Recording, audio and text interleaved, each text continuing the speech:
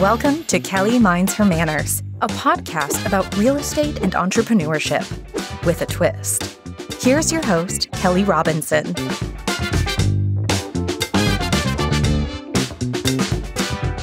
It's so good to have you here. Thank you so much for joining me on Kelly Minds Her Manors.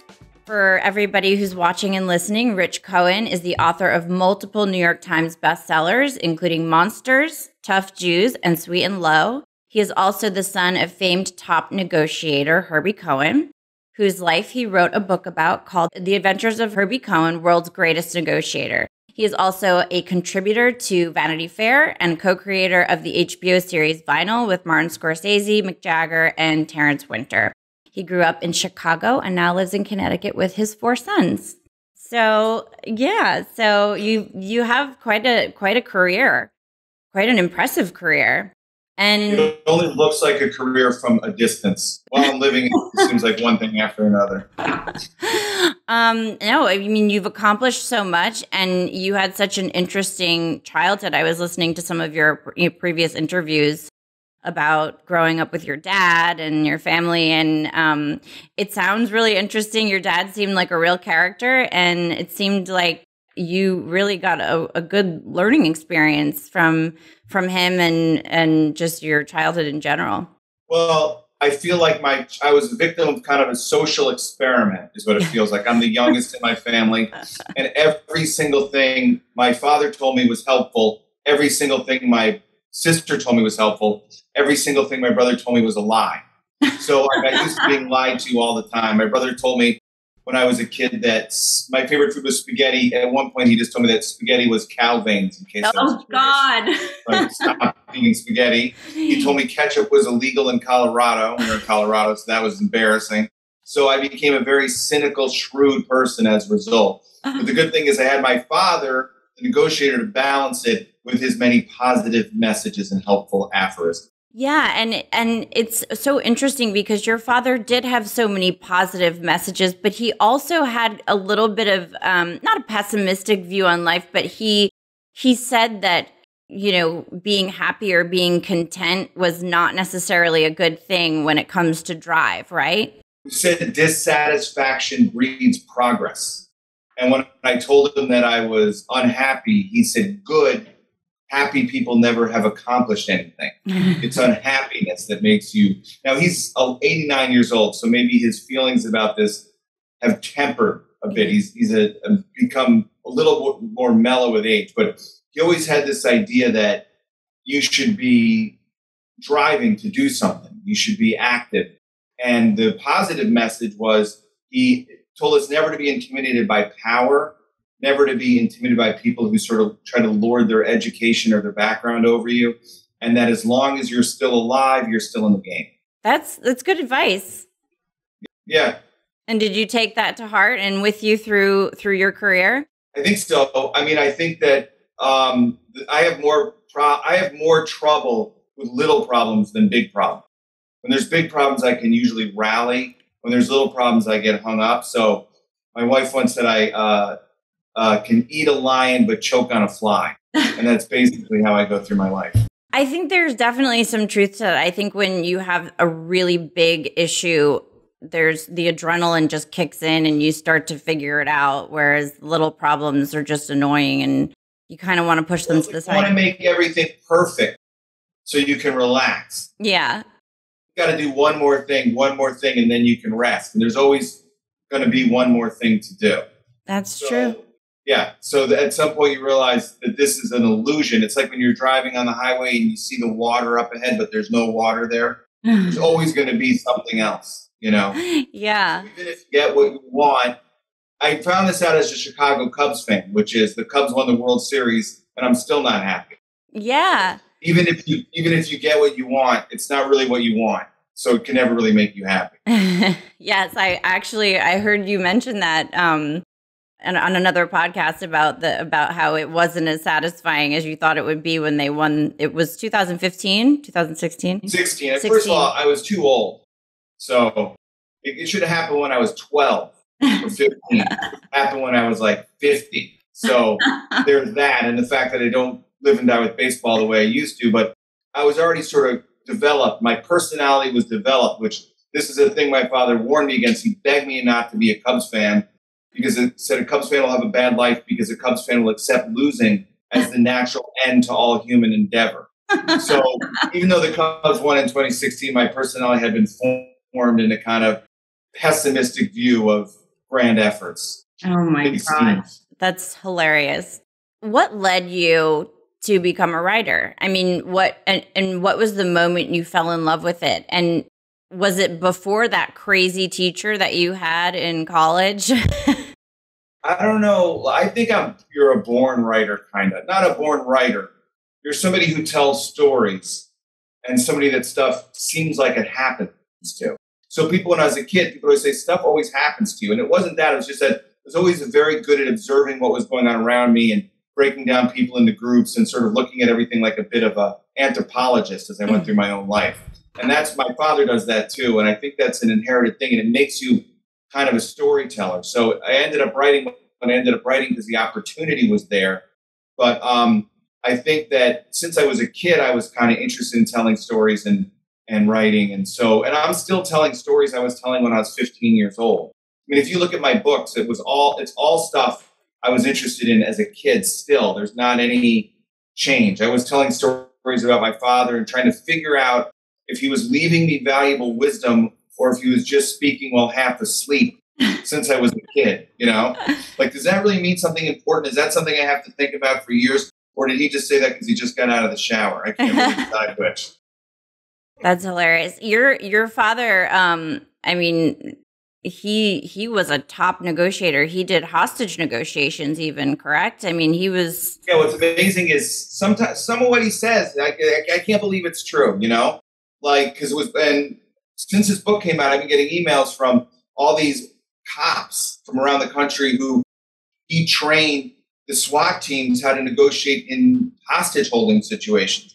FBI, he helped set up their behavioral sciences unit that studies serial killers. He was with the CIA and the State Department and on the START talks.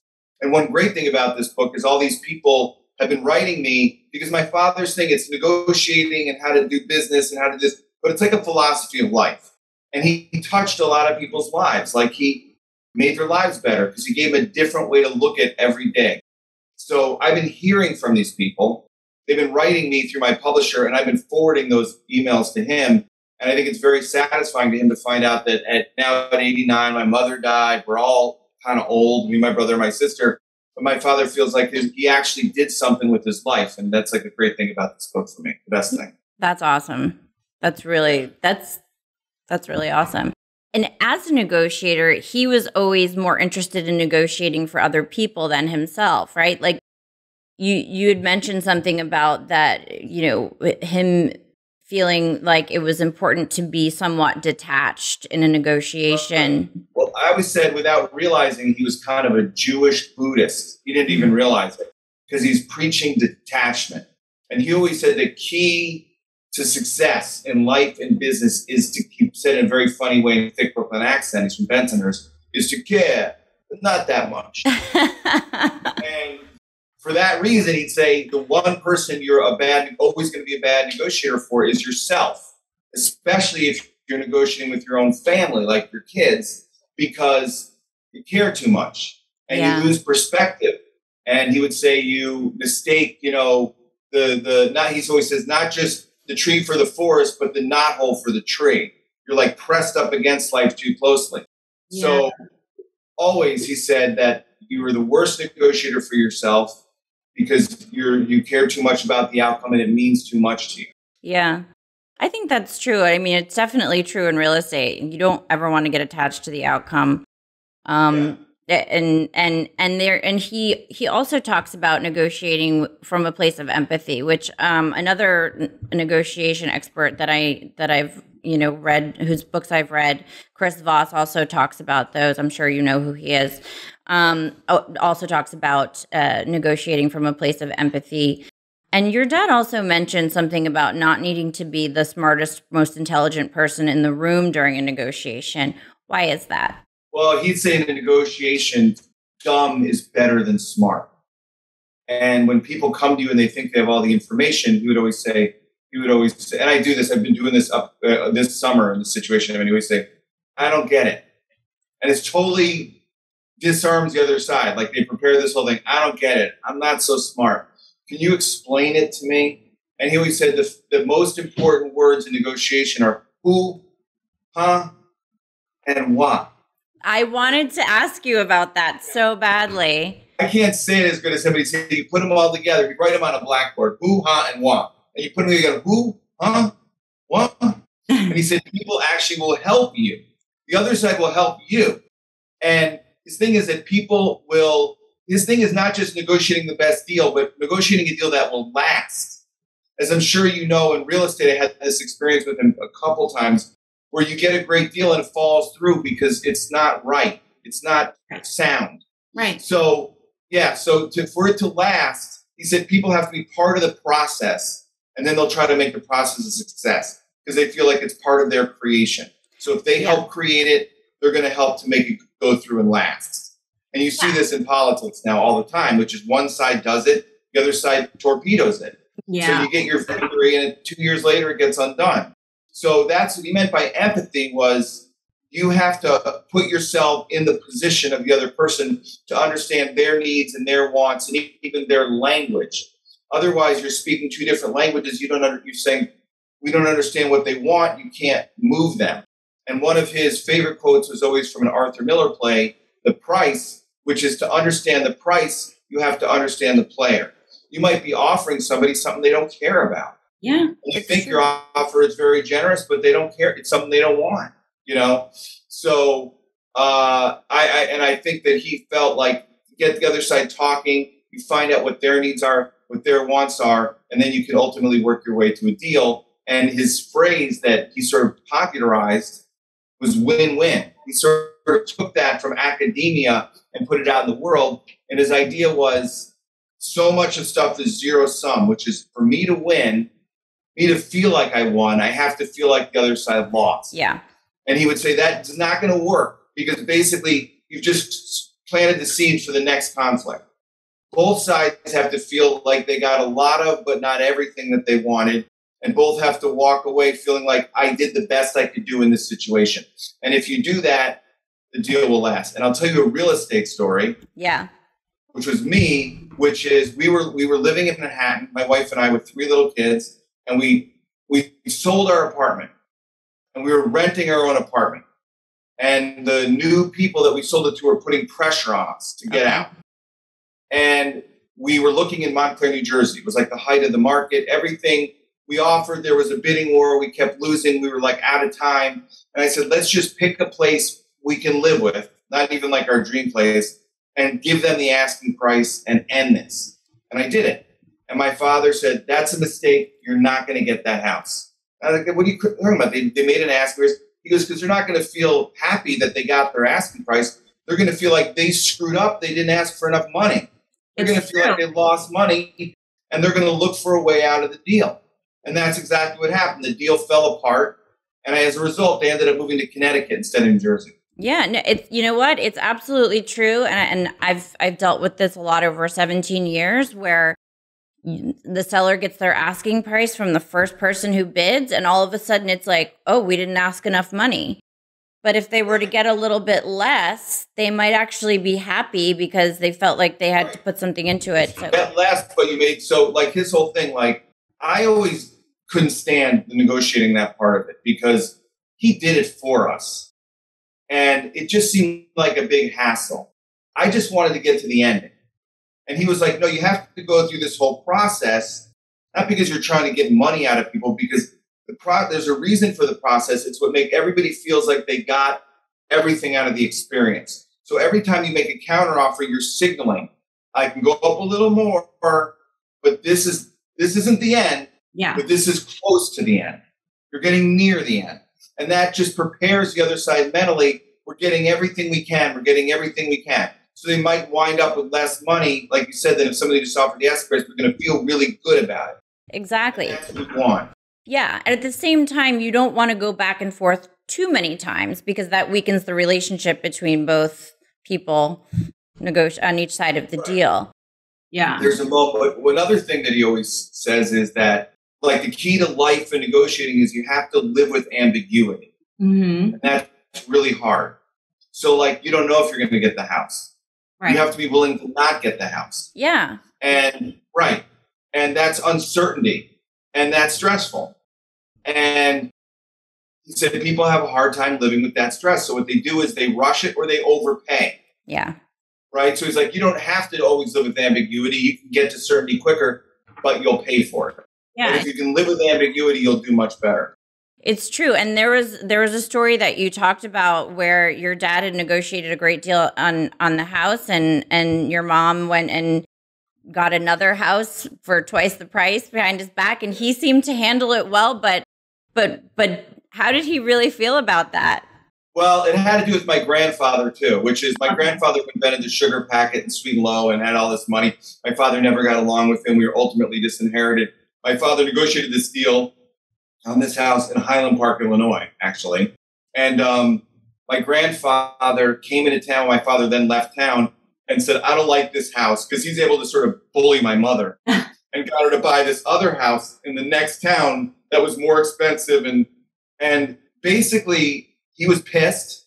I mean, pissed enough that he was still talking about it when I, years later. He still talks about it now. So he was, you can't even, don't want to get him started on the subject. So, yes, he was very angry, but I think he realized that for some things are more important than others. And in this case, the health of his marriage required him to sort of just live with it, which is Uh-huh. like, you got to, that's his big, you got to know when to hold him, you got to know when to fold him. He always quotes Kenny Rogers on that. So basically, he realized that the marriage in this case, he had uh, outranked the soundness of the deal, but it put him back financially too, because he ended up owning two houses at the same time. He always talks about that they couldn't sell the other house.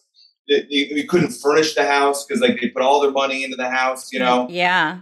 And um, uh, for me, it was great because they would let me draw on the walls and stuff of that house. You know, I thought it was paradise, but they explained to me that's only because we were out of money. Well, you know what they say, happy wife, happy life, Yeah, right? exactly. That's what he. My mom, the favorite is my. he'd always told the story. He would say, "My mother said the kids have already met the neighbors, they've already made friends, and the dog has already made a friend." That's so funny.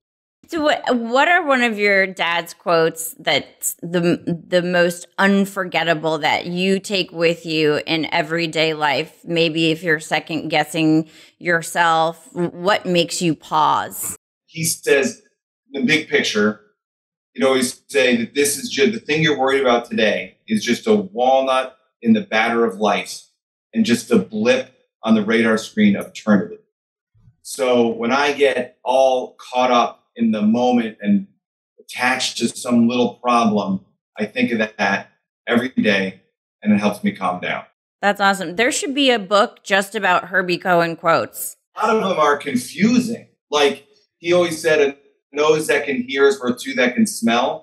And he'd say that people would get real quiet and then they start laughing.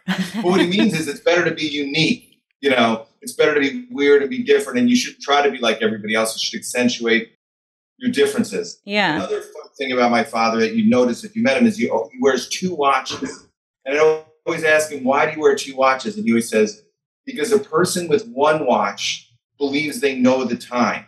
But a person with two watches realizes they can never be sure. Does he set them at different times? I think over time, watches just go to different times because there's Yeah. no perfect timepiece, which is his point. Everything is subjective. That and he also funny. says, we see things not as they are, we see things as we are. And that's, and I can remind, I can throw his own words back in his face when he gets mad at me about something. I can say, you've lost perspective over this, you know? And the others say, believing is seeing. That's another one of his favorite. Love it. Absolutely love it. He said that negotiations are everywhere in your personal life, that you are basically negotiating in every aspect of your life with every person in your life. Do you agree?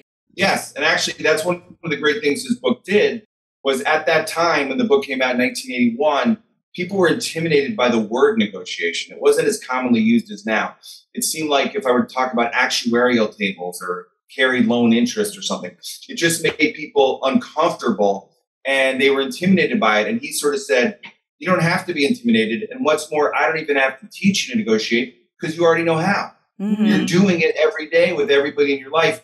You just don't know you are. But if you realize what you're doing, you can become better at it, understand it. And the key to all of it is you got to approach it like it's a game and you'll play looser, you'll live longer, and you'll actually be more successful. Mhm. So one of this, I just heard this from him recently because I'm still he's still telling me new stuff, which is the best natural negotiators, without realizing it, are kids. Kids negotiate naturally. You don't call it that. You call it kids being a pain in the ass. kids negotiating. So an example he goes, if you ask a 15 year old kid what they want for their birthday, they'll say a car. Okay, you're not getting them a car. Mm-hmm. It's a ridiculous ask. But what, the, what they've done is they set the bar so high. They started with a big offer. They've raised your expectations. So you're going to wind up getting something more than you wanted just so they're not disappointed. That's such a good point. His own book, he started with me having a temper tantrum in a restaurant because I hated to go to restaurants. And he said to take me to a restaurant 10 years after that, which is exactly what I wanted. That's so funny. So now you're also involved in um in television. How did you get how did you get involved as a co-creator uh, of vinyl?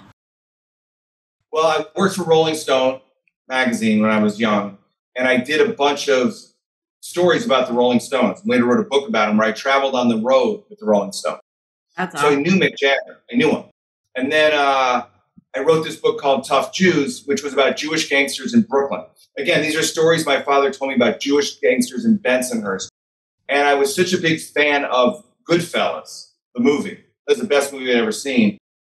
And I wanted to write a gangster story, but I feel like they'd all been written. And I'm like, well, they're all about Italians. I'll write about the Jews that were partners with.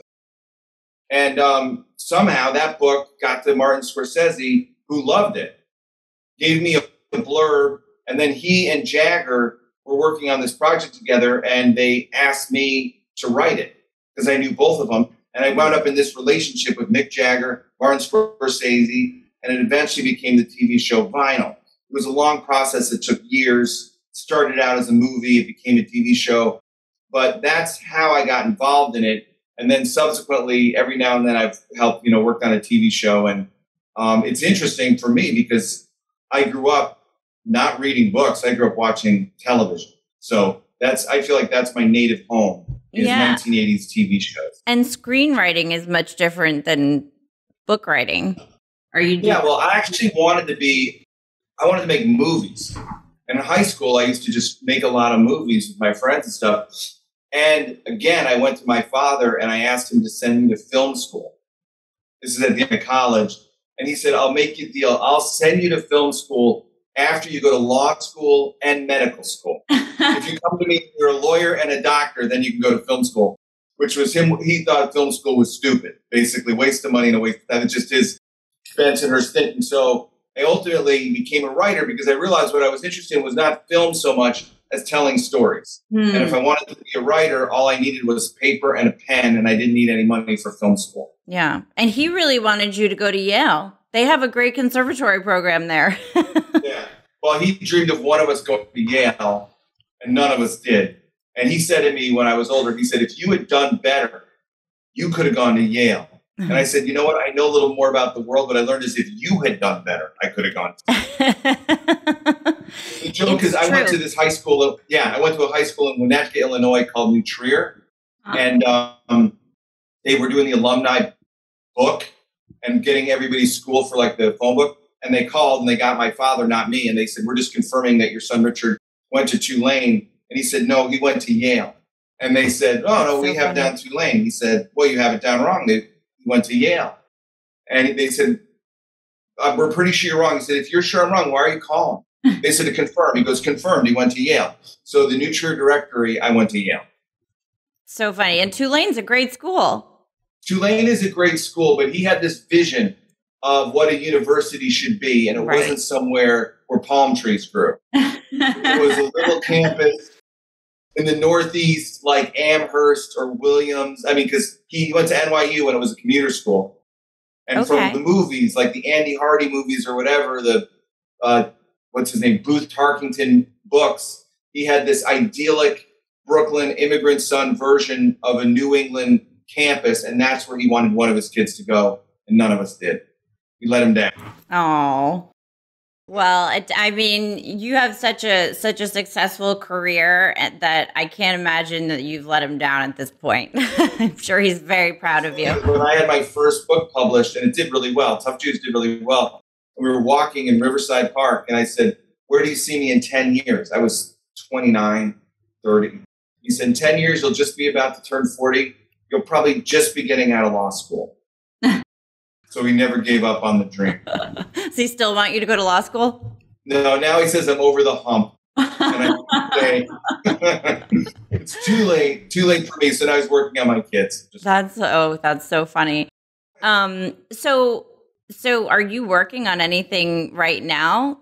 Any books? I'm always or- working on stuff. I mean, I'm working on a book about the NBA in the 1980s. I'm a, sort of a part. I made myself a sports writer at some point even though because I'm a just a giant sports fan and I played sports and my kids play sports. So, and I always thought sports are great to write about because it's all the stuff from life that's hidden is out in the open in sports. There's no hiding. You got to do it in public.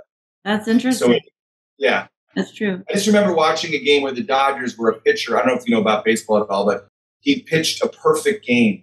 I think there were only 27 perfect games in the whole history of baseball. Wow. And like on the last play, somebody got a somebody got a hit and he won, but he had to walk off the field uh-huh. after this thing. And it was like just that walk that he made was so it seemed like John Wayne walking through a John Ford movie. It was like such a kind of courageous thing not to just break down at the end of the uh, Yeah. I thought you never get to see that anywhere else. That's the stuff people hide from you. Yeah. You get massive disappointment, career yeah. disappointment yeah. in public. Yeah. Wow. Um, so I want to ask, I want to ask you a few questions that we have from from um, people who are listeners and watchers. Have you? Uh, this is from somebody on on my team actually. Have you ever had to handle rejection from publishing companies, and how did you do that? So I started my career. I we would, like I said, you wouldn't call it a career. I started this thing that I'm doing. Uh, I was a receptionist and a messenger at the New Yorker magazine. Yeah. Job I got by a total fluke. And I started sending, writing stories and sending them out. And I saved the rejection letters. And I think I have a file with them still. And I think there's over a hundred of them. You know? Wow. So that was another big thing of my father's, which is so I this is in the book, but basically when I told him I wanted to be a writer and he wanted me to go to law school, we had a big, big fight. And eventually he backed off. And I thought, I have won. Like, this is today I'm a man. I've battled him and he backed off. And then about three months later, I started receiving in the mail rejection letters from law schools I did not apply to. He had applied for me to like 22 law schools. I got into one and I got rejected by the other ones, and I was very angry. And I'm like, do you know how humiliating it is. It's like a girl you've never met calling you up and telling you she won't go on a date with you. I didn't even, it was horrible. 21 of these. And he said, I am preparing you to be a writer. If you want to be a writer, the main thing you have to deal with is rejection. Yeah. You know, and I am teaching you. So right away started with a huge amount of rejection and it still happens. And it's always disturbing. It's always demoralizing and you always get over it. Yeah, that's true. You do always get out of it. you know, it puts hair on the chest. Yeah, I mean, it's just part of the thing, which is sometimes you like a lot of what like the best things you write will have trouble because they are new and people don't know how to understand them and they don't know measure them. They don't fit in any categories. Or the term I always hear, it falls between stools. Yeah. You know? so I'll tell you that one of those rejection letters I always remember was because you'd have to send a self-addressed stamped envelope uh-huh. And this one, it had a form I got back. And the form had a bunch of boxes. Your story's been accepted. That was not marked. Your story has been rejected and returned in a self addressed stamped envelope, not checked. Underneath, the person had written, Your story has been rejected and recycled. Recycled? put the paper in a recycle. send it back. I put in the recycling bin. Oh my gosh. That's that's mean. That's like a that's a mean thing to write. I know, but it was so mean that it was fun. It is. I mean, it is funny. I mean, it's you know, what after you get over it, it's funny. It's one of those things where it's like too soon. There's a period of time where it's too soon, and then it's yeah. funny later. Um, this is from Samantha Weinstein. Which work are you most proud of? Well, I'm always most proud of what I've just done because I have to believe that I'm getting better all the time. I'm improving, or like, what's the point? Yeah. I still have the school mentality, which is every year is like another grade and I'm smarter than the year before. Mm-hmm. So I have to believe that the book I just did is the best book I've done. And, and if I ever felt otherwise, and it's at some point, it's going to be otherwise, right? I'm going to age and lose all kinds of brain power and get stupid and slow. um, but I, uh, so right now, I think the best book I've ever done is this book about my father. But I really think it is because it's the most important stories to me. It's the most the person I know best in the world and uh, touches every part of my life. But so I would say the Adventures of Herbie Cohen, World's Greatest Negotiator. I should say that title, by the way, which sounds kind of nuts. Um, when I was a kid, Playboy magazine did a big profile of my father. Really? And, and profile and Playboy magazine was then like the largest circulation magazine, and Philip Roth wrote for it, and John Updike wrote for it, Norman Mailer wrote. It was a huge deal, and uh, they put on the cover of Playboy Herb Cohen, World's Greatest Negotiator, and it was like I think it convinced him Amazing. he should write a book because it's yeah. like the outside world judging me, and um, so that was just like a phrase we would kind of kid him with. Hey, aren't you the world's greatest negotiator? Can you go in? I want to buy something for my girlfriend. Can you go get me half the price? You're the world's greatest negotiator, aren't you?